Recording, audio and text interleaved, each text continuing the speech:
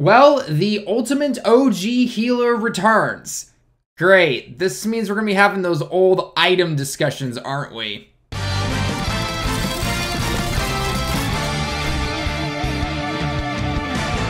What's going on everyone, Tallen back here, and today we are going to be doing a two-part video, or technically two parts in one video. You get the idea. It's, it's been a long day. It's really hot here anyway. Anyway, so we're going to be talking about two things. A, we're going to be talking about the Buuhan EZA details that we just got. We don't I we don't know what team to technically take it down is, but we actually do know from the event or from the news itself in the game. So I'm going to make sure to remind you guys that after I go ahead and translate the card here itself. And then we're going to be going into kind of a should you summon slash, uh, you know, is he worth it type of summon for the new card coming to Global less than a month till your four year anniversary, or about the time of this recording, for exactly one month until your four year anniversary. So uh, we'll have to wait and see. But anyway, so let's get into all the details on the OG, well, everyone used to consider the OG healer and everything. Everyone ran them, everyone used them, everyone loved using them, and then everyone just be like, I don't have to waste my items now. And then, oh my god, that that discussion was really weird. It's like, yeah, okay, I get it, but items are meant to be used. Why are you stockpiling them? Stockpiling your items doesn't really do much unless all of a sudden you have to go into just huge sprawl of doing events for some reason that require random healing items. I don't know. It was always a weird conversation to me, so I don't know. Yeah, great. He heals and everything, but I mean, a lot of characters still heal to this day too. So anyway, anyway, let's take a look at what Buuhan does here because he's definitely pretty powerful. He's, he's kind of a, he's what I would expected from an EZA of the 70% God Leaders as we used to call them essentially. So anyway, int types, key plus four, stats up 100%. Standard stuff. We saw this with the Tech Go tanks. Okay, cool. I'm all for it. All right, passive skill. This was a big one, right? This is the, the passive skill is what makes or breaks some of these units. Let's see what he does. So, for every orb obtained, attack up 17% and defense up 10%, and he heals 10,000 HP. Okay, so he's to be healing quite a bit. Um, the one thing I personally would have liked to have seen is maybe make a little bit efficient in terms of the, you know, this nuking ability. Um, maybe it be an orb, you know, changer at the same time. You know, one of those, you know, like if if you're facing off against a certain enemy, randomly change the uh, orbs into rain one color orb into a rainbow. Not just blatantly make him change, you know, some color into some massive uh, int orb or something like that, and then all of a sudden he's like completely OP or something like that. But you know, again, they they love to throw in these random parts of the passive skills. It's like, hey, you're facing a Potara guy or something like that, so you're gonna change one random type of orb to uh, Rainbow. And again, it wouldn't be every single opponent you're facing against, but if you happen to be facing against a Potara unit, then hey, by the way, we're to make this guy a little bit more crazy. So, I mean, I don't know. I, I thought maybe something like that would have happened, but, you know, whatever. It is what it is. So, anyway, and then the final part. It was a little weird when I first read this, but then it made sense, but then at the same time, kind of like, feels a little random, not gonna lie. It kind of fits with who he is, but at the same time, again, feels random.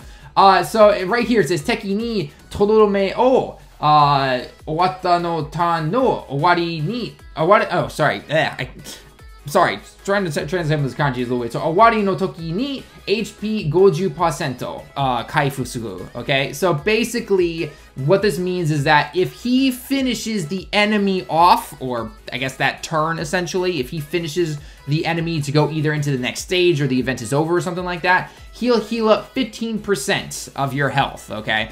Um, it does not, he is not going to recover the, for, I don't know why, I, I saw this on Twitter for some reason. A lot of people were thinking that he will recover 15% of the health from the enemy or something like that. It's like, mm, no, he just he's going to recover 15% of your health, you know, so your total health that you have, he'll recover 15% of that when he finishes it off. So, and then on top of that, obviously, you know, just via his nuking ability, he's going to be able to heal up 10,000. So, I mean, that's definitely pretty good. So, obviously, Boo, Boo's in a weird position because he we, we don't really run type teams anymore, right? Like, back in the day, yeah, you ran him on a NIDS team, you ran him with, like, the Anti-Janemba, you ran him with the, uh, heck, even the LR Piccolo because they shared shocking speed and everything, and all you needed was 4 key to get him up to that, at least to get a super attack, and then, you know, if you got more orbs, then great.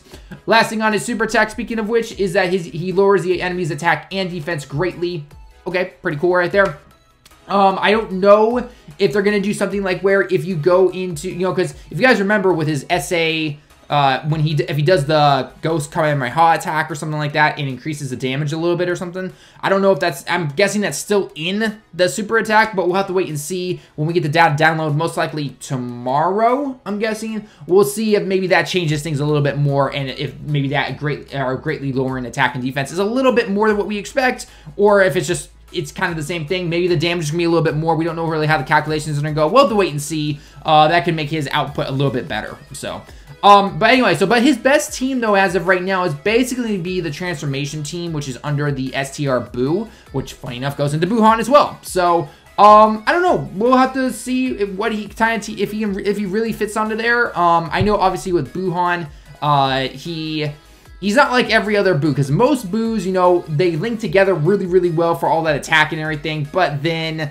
the uh, key links are atrocious, right? Buuhan's the one exception. He does get shocking speed, but overall still, you know, depending on what team you run him on, kind of atrocious when it comes to certain uh, key links. No, no one can dispute that, right? We've all known that about Boo for quite a long time, so...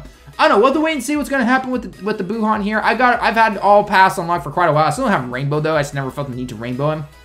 Maybe that will change. The problem is, though, I think that one thing that, uh, well, actually two things technically, and it's not, it's not a problem with the card itself. It's the team that he be from. And that is finding those STR boos lead, okay? Uh, not exactly the easiest thing to find, even to this day. So that will probably be the biggest thing to kind of, you know, be like, okay, I really want to use this guy. I've got the great team for it and everything like that. Uh, can't find the Boo team, or the Boo leader. Huh, this is a little, uh, it's a little weird. And I know not many people summon for the Boo because both of the banners that he's come around on, kind of a lot of people skipped him. Uh, you know, or some people were kind of like, okay, he's a good card and everything, but I'm still going to skip the banner. It's not really something I'm going to be going for, which is totally fine. You're allowed to do that. So I, I personally see that being the biggest problem right there, right? You know, it's, it's finding that friend leader, which you could say about a lot of different cards, but Buuhan especially, right?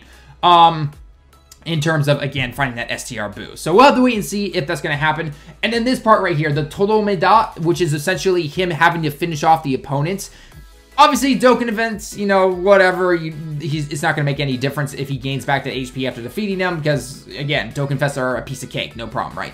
Super Battle Road, it's definitely going to be helpful there for Super Battle Road, but the one thing I do am, I am curious about is, you know, it's not always easy to, you know, delay the fight or to do this to make sure that Buuhan is the right guy to finish that opponent off, right? Obviously, if you're facing off against five opponents and they all have lesser health and everything, then yeah, Buuhan right then and there, you're going to put him in wherever if he's got a decent amount of orbs. Boom, you wipe one guy out, and hey, he's also healed by that way, by defeating that one guy as well. However, if you're facing off against, you know, let's say, oh, I don't know, the Majin Buu Saga, uh, Super Battle Road or you're doing a Super Battle Road where it's only one opponent, you know, that can be a little weird. I would, I guess I would want to say. I'm not really sure. Well, I, I, I want to test this guy out when I when he comes out on Thursday. We'll definitely have to wait and see what he can do um, on that particular on that particular type of team. So we'll have to wait and see. Obviously, the healing is amazing. The attack and defense is it's what we expected, I think, from an EZA. So overall, I'm definitely excited. Uh, team to or team to beat this guy is supposed to be the Potara team.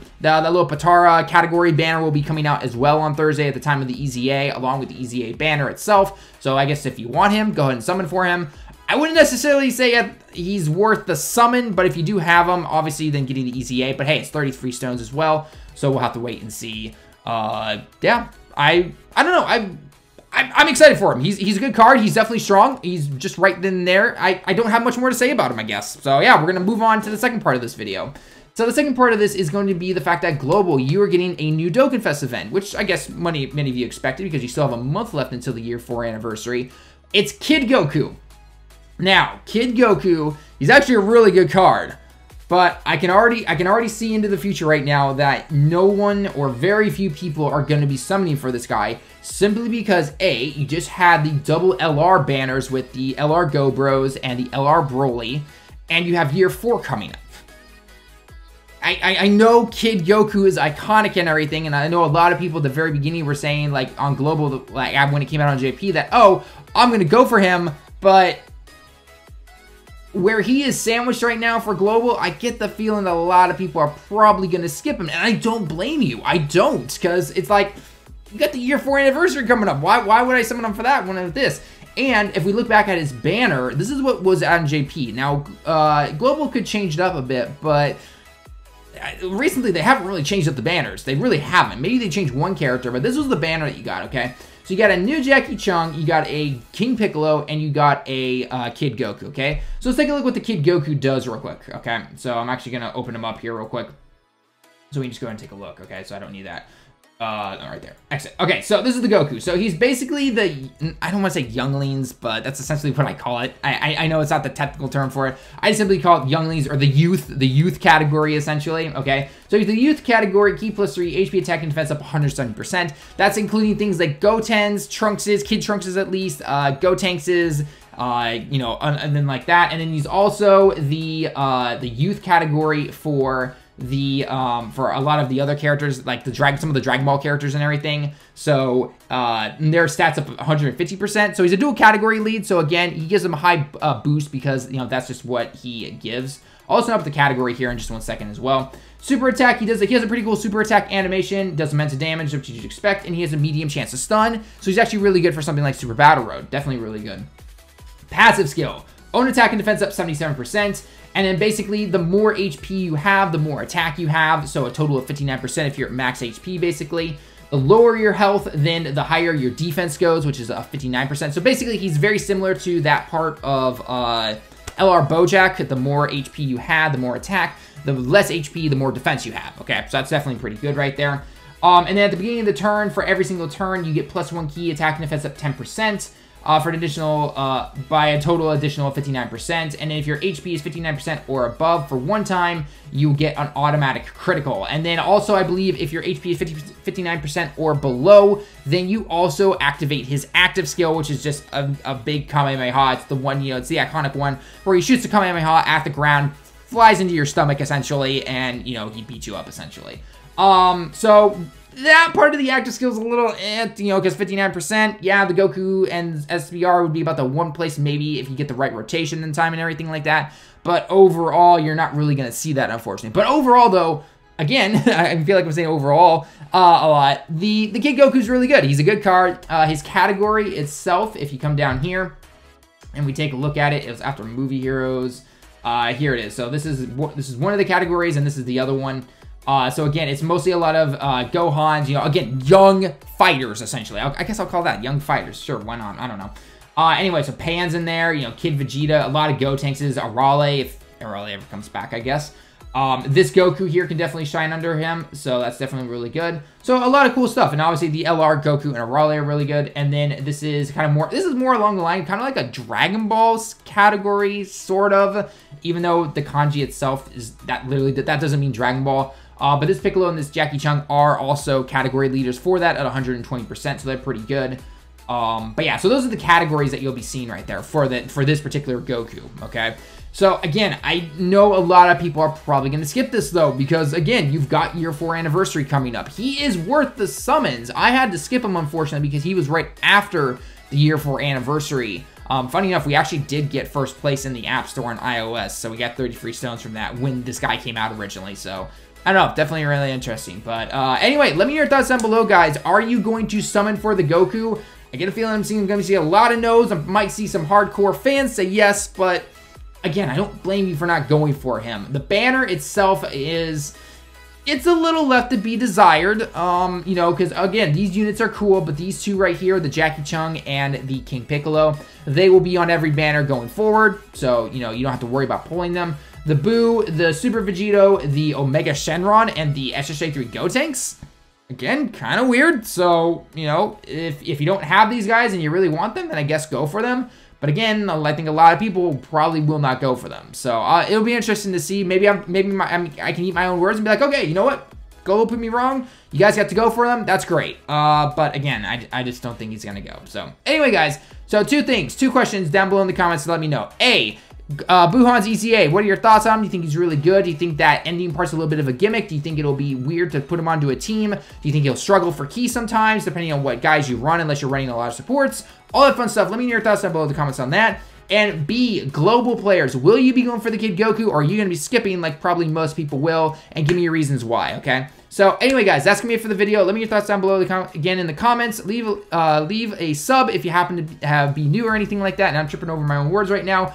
I'm gonna head out because it's really late here. So yeah. Anyway, guys, that's it for the video though. Until next time, everyone. I'll see you all in the next one.